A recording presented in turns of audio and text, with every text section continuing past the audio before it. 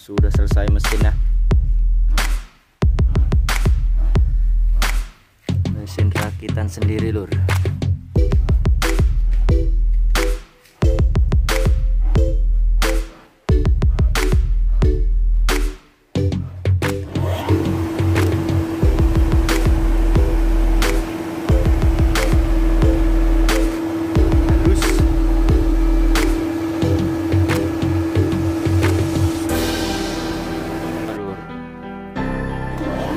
tes geter. Wah. oh ini orang timbul